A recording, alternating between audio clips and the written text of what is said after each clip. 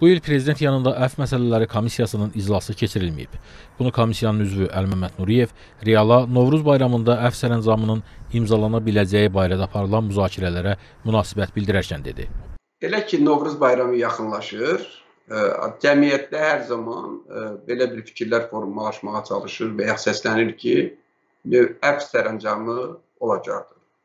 Bu başa düşüləndir ona görə ki, ə, Ötən illərin təcrübəsinə diqqət yetirsək görərik ki, əf sərəncamlarının böyük əksəriyyəti Novruz bayramı ərəfəsində olmuşdur. Elə axırıncı ümumi əf sərəncamı da 2019-cu ildə e, Novruz bayramı ərəfəsində cənab prezident tərəfindən imzalanmışdı ki, 431 şəxs cəzanın qalan hissəsindən azad edilmişdir. Əlbəttə ki, ondan sonra da bir əf sərəncamı olmuşdu. Qeyd etməliyəm ki, Azərbaycan prezidentinin fəaliyyətində prioritet istiqamətlərdən biri humanizmdir, mərhəmətdir, humanitar yanaşmadır, qayğıkeşlikdir və hər zaman bunu nümayiş etdirmişdir. Cəmiyyətin bütün təbəqələrinə münasibətdə sosial paketlə bağlı çoxsaylı fərman və sərəncamlar, qanunların qəbul edilməsi, imzalanması prosesində biz onu görürük.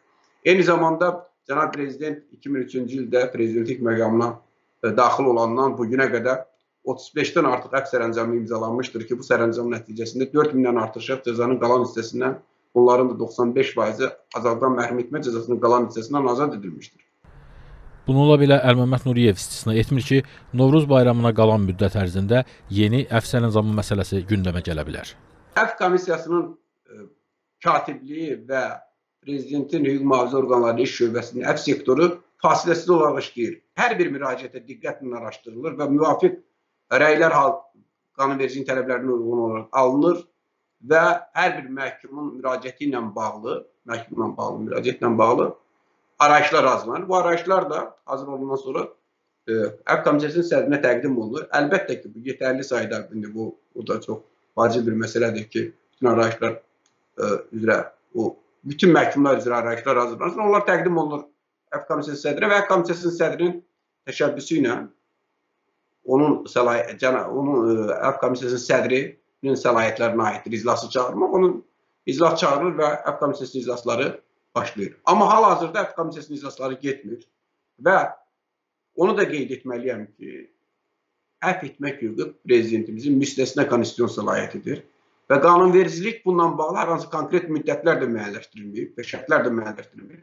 Cənab prezident müstəsna konstitusiyon səlahiyyəti olduğu üçün o istənilən vaxt əf sərəncamı verə də bilər və yaxud da ki, verməmək. Yəni bu cənab prezidentin iradəsi çərçivəsində olan məsələdir.